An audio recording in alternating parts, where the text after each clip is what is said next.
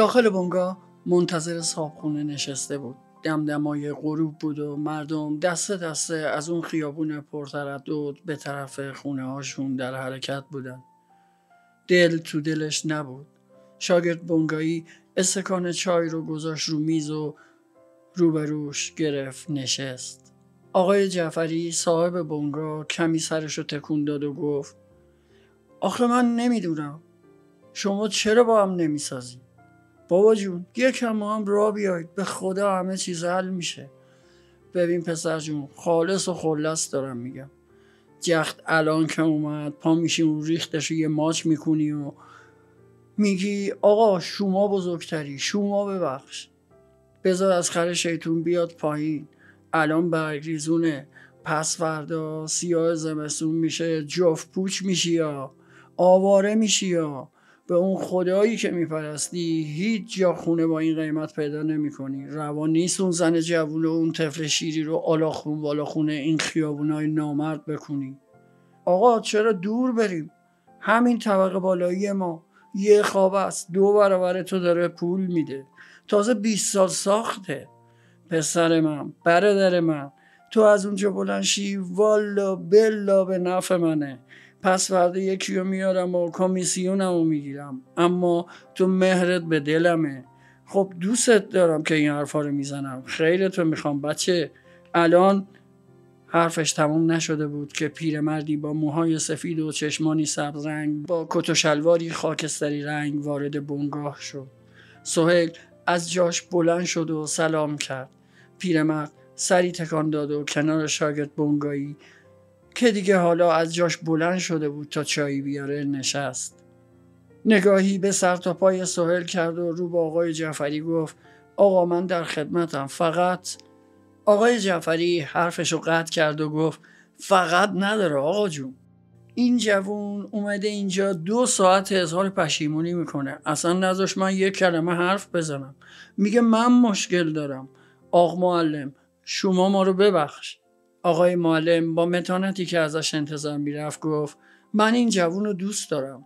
خدا می‌دونه که مثل بچه هم باش رفتار می‌کنم. اما آخه یه مسائلی هست که باید قبول کنه و رعایت کنه. من می‌دونم که دوره ما تموم شد و ما شاید خیلی از نیازا و تمایلات این نسل رو نفهمیم. اما اینا هم باید حواسشون به ما باشه و رعایت ما رو بکنن. صدای تلویزیون خوبه یه خورده کمتر بشه بهتره. حالا ترانه کوچولو مثل نوه خودم میمونه. حتی خودش هم می‌دونه. اون بچه به من میگه بابوجی و فکر می‌کنه که من پدر بزرگشم. منظورم اینه که من دلم نمی‌خواد نوام از پیشم بره. آقای جعفری نگاه مناداری به سهیل کرد و سرش انداخت پایین. اما چیزی نگفت. سهیل انگار تو اون فضا نبود و اصلا متوجه حرفا نیست. آقا معلم ادامه داد من توقع دارم یه حد اقلایی رایت بشه. تازه اینو بگم خانومش هم مثل دخترم میمونه. ببین آقا جون اینا در هفته دو شب شاید ده نفر مهمون میاد براشون. آقای جعفری به سهیل گفت شما نمی‌خوای چیزی بگی؟ و بعد چشمکی به سهیل زد. سهیل گفت چشم آقا رعایت می‌کنم از این به بعد. ما هم شما رو دوست داریم و می‌خوایم که پیشتون بمونیم. چشم مهمونا هم میگن دیگه نیان و بعد دوباره سرش انداخت پایین و رفت تو خودش.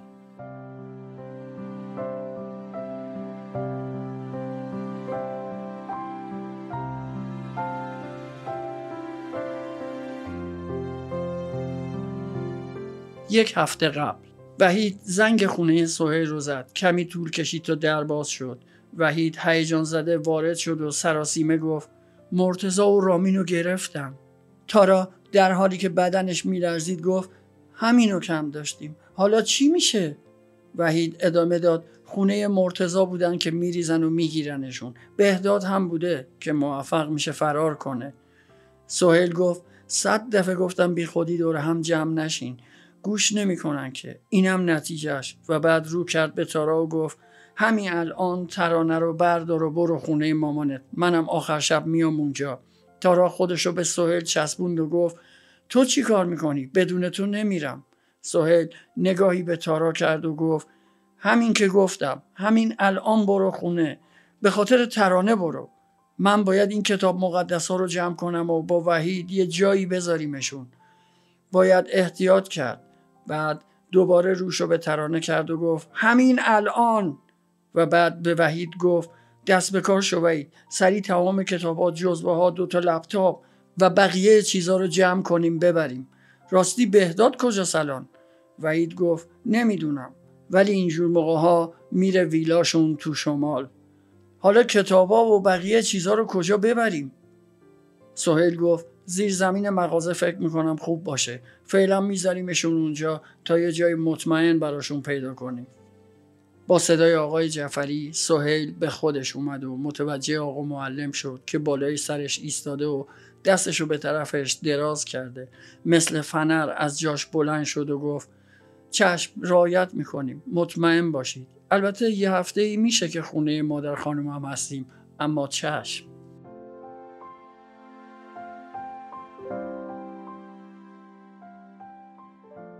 تو راه که می‌رفت موبایلش زنگ خورد تارا بود الو سوهل من می‌خوام برم سر زندگی خودم من زندگی خودم رو می‌خوام زودتر بیا خونه سوهل گفت تارا متوجه اوضاع نیستی؟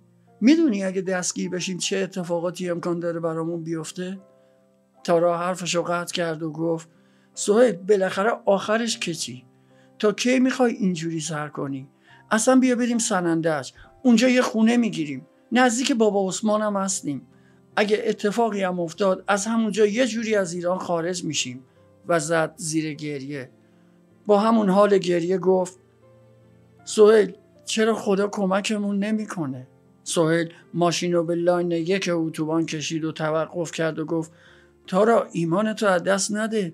این چه کاریه؟ این چه سوالیه؟ باید قوی باشیم. باید پای انتخابی که کردیم بیستیم.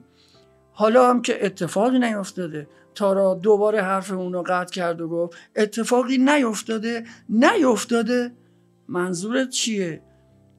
سوهل بگیرنمون شاید اعداممون کنم خیلی که شانس بیاریم 15 سال زندان بهمون میدن. تکلیف ترانه چی میشه؟ اگه اتفاقی برای تو بیفته من چیکار کنم؟ از از تاله دارم دعا می‌کنم. بیا فرار کنیم بریم سنندج. با بابا عثمان تماس بگیریم. بگیم اینجا خرج زندگی گرونه. بگیم نمی‌تونیم اینجا زندگی کنیم. چه می‌دونم؟ بگیم بدبخ شدیم. می‌خوای من زنگ بزنم؟ سوهیل واقعا نمی‌دونست چی کار بکنه. کمی مکس کرد و گفت تارا من تا یک ساعت دیگه خونه هستم. میام اونجا و با هم صحبت می‌کنیم. و تلفن رو قطع کرد. سرش رو گذاشت رو فرمون احساس می‌کرد غم عالم تو دلش نشسته. از اینکه نمی‌تونست برای زن و بچهش کاری بکنه داشت دق می‌کرد.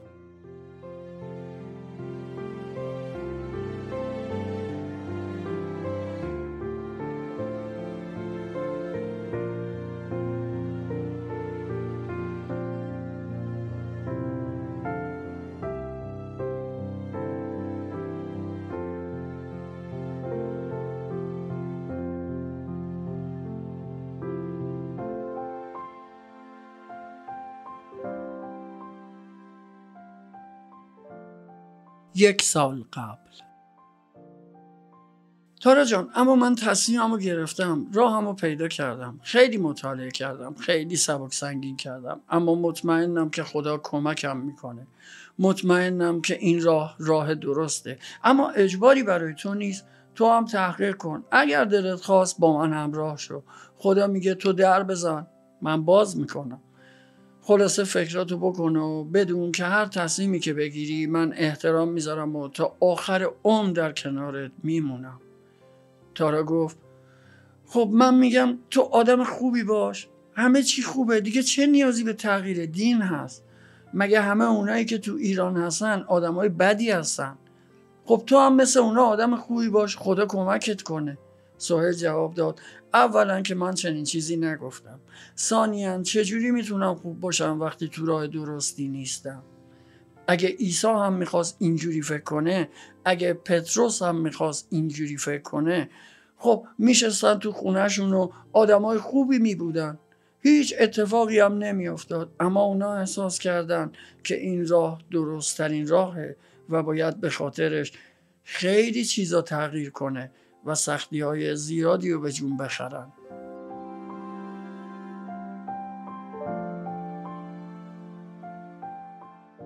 بالاخره رسید خونه. چشمای تارا قرمز شده بود. مامانتاج مادر تارا جلوی سوهل ایستاد و گفت آقا سوهل دست شما درد نکنه. واقعا آفرین. دو سال پیش پسرم از دست دادم سال پیش شوهرم مرد. حالا هم باید منتظر اعدام دخترم و دامادم باشم. این درست نیست. با هر دین و مذهب و مسلکی که حساب کنی درست نیست. سهیل سرش انداخته بود پایین و جوابی نمی‌داد. تارا اومد جلوی سهیل ایستاد و گفت مامان تقصیر سهیل چیه؟ اون که گناهی نداره اون که کار بدی نکرده. خودمون حلش می‌کنیم. خواهش می‌کنم شما دخالت نکن. مامان تاج در حالی که دست دخترش رو گرفت و کشید طرف خودش گفت تو دخالت نکن. یعنی چی؟ من وسط ماجرام چجوری دخالت نکنم؟ فکر منو نمی کنید فکر این دختر مثل برگ گلتون رو نمی کنید لعنت به من لعنت به سرنوشت من لعنت به شما. سوهیل سرش رو بلند کرد و گفت تارا میریم سرندج برای هفته بعد بیلیت می‌گیرم. تارا گفت مامانم رو چی کار کنم؟ سوهل گفت معلومه مامان تاجم با ما میاد. نمی‌ذارم تنها بمونه. میریم اونجا. همونطور که تو خواستی. یه خونه دو طبقه می‌گیریم و یه طبقه شو میدیم مامان تاج. می‌دونم که سختشه اما عوضش خیال ما راحته. تارا با خوشحالی به طرف مامانتاج رفت و اونو به آغوش کشید و گفت مامانتاج بیا خب بیا. نذار بیشتر از این بدبخت بشم. بیا کنار من که خیال تو رو نداشته باشم. هفته بعد در راه کردستان بودن که وحید زنگ زد.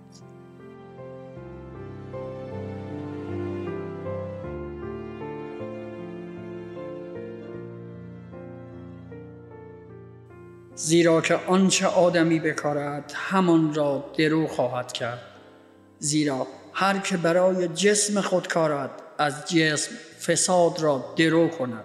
و هر که برای روح کارد از روح حیات جاودانی خواهد دروید. لیکن از نیکوکاری خسته نشویم زیرا که در موسم آن درو خواهیم کرد. اگر ملول نشویم.